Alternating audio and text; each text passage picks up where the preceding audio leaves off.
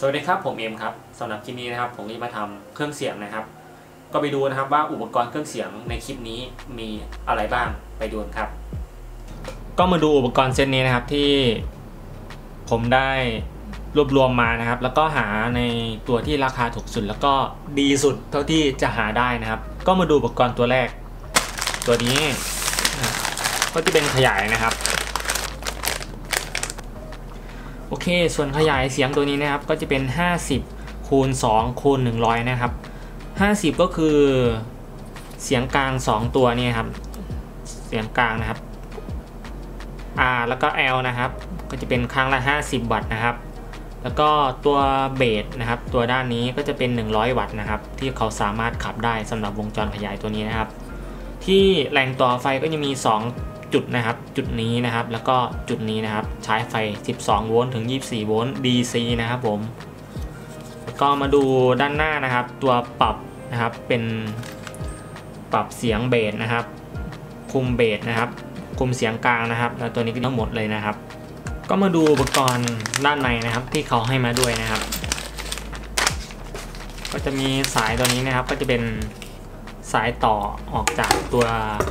ตัวนี้นะครับ ก็คือไม่ได้ต่อตรงแจ็คตัวนี้นะครับ แจ็คเสียงเข้า ตัวนี้ก็เป็นอุปกรณ์น็อตนะครับ แล้วก็ฐานน็อตยึดฐานนะครับ แล้วก็ตัววอลลุ่มเองนะครับ ตัวที่สองนะครับก็จะเป็น power supply ตัวนี้นะครับ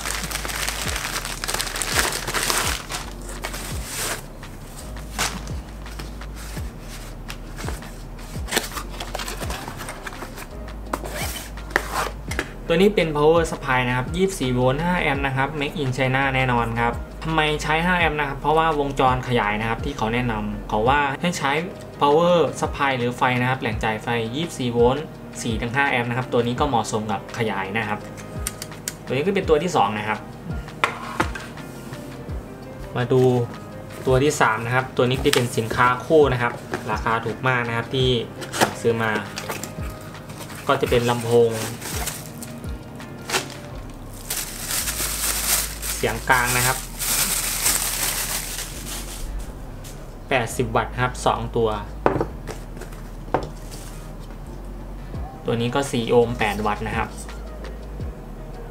ขนาด 4 นิ้วนะครับสำหรับดอกตัวนี้นะครับ ทั้งหมดก็ 2 ตัวนะครับ และตัวสุดท้ายนะครับก็คือซับบูเฟอร์ตัวนี้นะครับ ก็จะเป็นลำโพงเบสนะครับ ขนาด 10 นิ้วนะครับ ตัวนี้ก็จะเป็นดอกลำโพงซับบูเฟอร์นะครับ ก็คือดอกเบสนั่นเองนะครับ ตัวนี้ราคาถูกมากเลยนะครับ ประมาณ 800กว่าบาทเองนะครับอันนี้แม่เหล็ก 1 ชั้นนะครับ แล้วก็วอยคู่นะครับวัตต์อยู่ที่ 1,000 วัตต์นะครับสำหรับตัวนี้ คือแล้วทำไมผมต้องใช้ดอกลำโพงที่มีขนาดวัตต์สูงกว่าขยายด้วยนะครับ ในความเป็นจริงเองขยายสามารถขับได้นะครับ แต่ ดอกลำโพงเนี่ยเขาสามารถรับพลังได้ถึง 1,000 วัตต์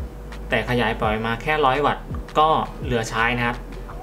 เหลือใช้คือดอกดอกลำโพงไม่เป็นไร แต่เสียงอาจจะไม่สุดแค่นั้นเองก็คือ มันยังดังได้อีกมากกว่านี้ แต่เขาก็สามารถดังได้เท่ากับ 100 วัตต์นะครับ แต่ถ้ามีขยาย 1,000 วัตต์มาต่อนะครับ เขาก็สามารถดังได้ถึง 1,000 วัตต์ โอเค เซตนี้นะครับ ราคารวมก็ประมาณ 2,000 กว่าบาทนะครับ ถูกมากนะครับ ถือว่าเป็นชุดเครื่องเสียงที่น่าจะให้พลังคุ้มกับราคานะครับ ต่อไปนะครับผมก็จะมาทดลองนะครับว่า ต่อแล้วก็ทดลองดูว่าเสียงที่เขาออกมาจะดีแค่ไหนนะครับ ตอนนี้ผมจะยังไม่ได้ทำตู้ลำโพงใส่นะครับ ในตอนนี้ผมจะมาทดลองให้ดูก่อนนะครับ แล้วก็คลิป EP 2 นะครับ ผมก็จะมาทำตู้ใส่นะครับ แล้วก็มาทดลองอีกทีนะครับว่า เขาจะดังดีแค่ไหนแล้วก็ขนาดที่ผมทำได้เนี่ยจะขนาด กระทัดรัดเท่าไหร่ ก็รอติดตามใน EP 2 นะครับสำหรับคลิปนี้นะครับผมก็จะมาทดลองอุปกรณ์นะครับ ขยายเสียงแล้วก็เสียงกลางแล้วก็เสียงเบสนะครับ ลองต่อเปิดใช้งานดูนะครับว่า คุณภาพเสียงเขาจะคุ้มราคาหรือไม่นะครับสำหรับราคาแค่นี้นะครับ ถ้าใครนะครับสนใจ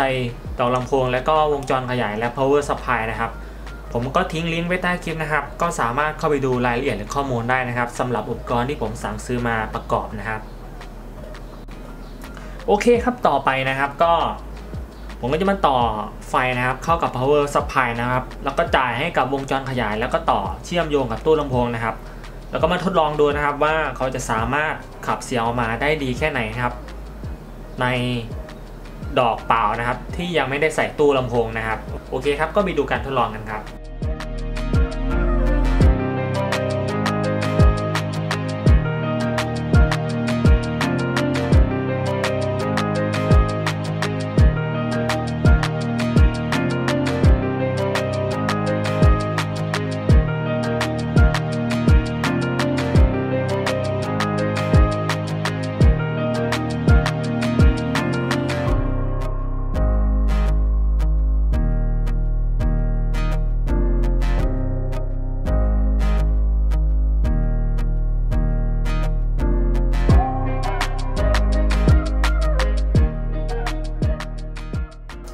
เคครับก็มาดูนะครับ แต่ละตัวทำงานอย่างไรนะครับ ตัวแรกก็จะเป็นมอนเตอร์นะครับ คุมทุกอย่างนะครับ ตัวนี้ก็จะเป็นในเรื่องปรับอ่าย่านความถี่นะครับ ตัวนี้ก็จะเป็นเบสนะครับ ที่ไปคุมตัวนี้อีกทีนะครับ ตัวต่อมานะครับก็จะเป็นคุมเสียงกลางนะครับ แล้วก็ตัวนี้จะเป็นเสียงสูงนะครับ เสียงกลางตัวนี้ก็จะไปคุมเสียงสูงอีกทีนะครับ ก็มาลองฟังดูครับว่าเสียงเนี่ยที่เขาออกมาจะดีแค่ไหนนะครับ ผมจะเอาเสียงกลางขึ้นก่อนนะครับ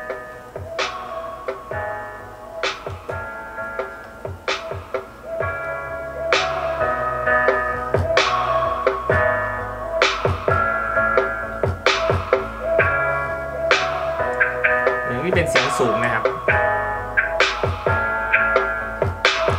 ตัวนี้เป็นมอนเตอร์นะครับคุมทั้งหมดนะครับ เข้าลงสุด ก็ปิดไปนะครับ ผมก็จะเปิดขึ้นมาสุดแล้วกันนะครับ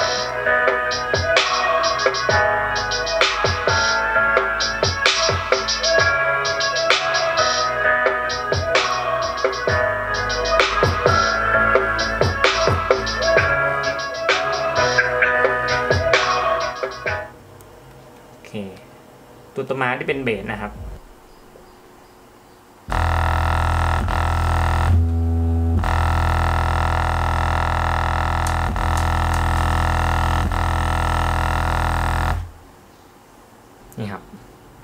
ต่อวอยเดียวนะครับ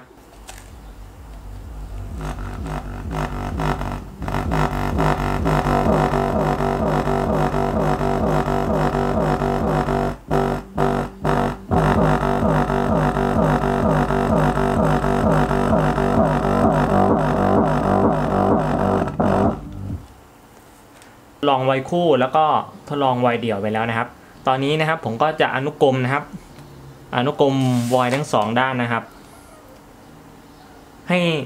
วอยทั้งสองด้านเนี่ยอนุกรมกันแล้วจะได้ 8 โอห์มนะครับ ถ้าขนานจะได้ 2 โอห์ม ตอนนี้ผมได้อนุกรมนะครับให้ได้ 8 โอห์มแล้วก็มาทดลองเปิดดูครับว่าเสียงเขาจะดีแค่ไหนนะครับ หรือจะดีประมาณไหนนะครับ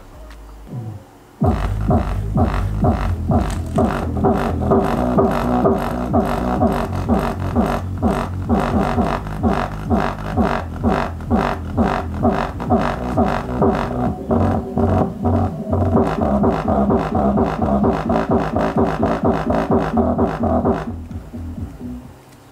อเค ก็สามารถขับได้ดีนะครับ เสียงที่ออกมาก็เป็นเสียงดอกลำโพงแท้ๆนะครับ ที่ยังไม่ได้ใส่ตู้นะครับ เราก็ได้ยินเสียงเบสเป็นประมาณนี้นะครับ เสียงประมาณนี้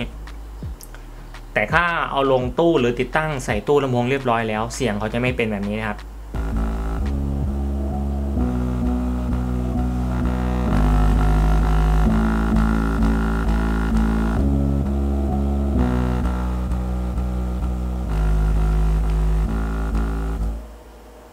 เคครับก็จะประมาณนี้นะครับสำหรับบอร์ดขยายตัวนี้นะครับ พอใช้ได้เลยนะครับ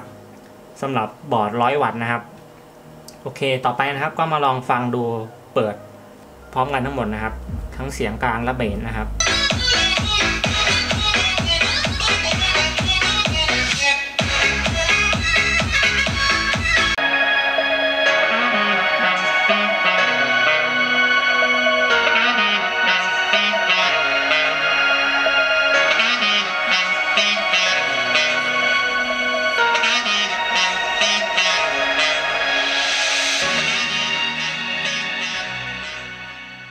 เป็นยังไงบ้างครับสำหรับการทดลองผมนะครับ ก็จากการทดลองนะครับ ระหว่างต่อแบบขนาน2วอยนะครับ แล้วก็ต่อวอยเดียว แล้วก็ต่ออนุกรมวอยนะครับ ก็จะทำให้เสียงได้ออกมาเนี่ยก็ไม่ต่างกันมากนะครับสำหรับคลิปต่อไปนะครับ ผมก็จะเอาอุปกรณ์ตัวนี้นะครับ ลงในตู้ลำโพงนะครับ แล้วก็ถ้าใครนะครับสนใจหรือสงสัยว่าอุปกรณ์ที่ผมสั่งซื้อมา สั่งซื้อมาจากไหนนะครับ ผมก็ทิ้งลิงก์ไว้ใต้คลิปนะครับ ก็สามารถเข้าไปดูรายละเอียดและข้อมูลได้ โอเคครับสำหรับคลิปนี้ผมก็ขอลาไปก่อน เจอกันใหม่ในคลิปหน้า สวัสดีครับ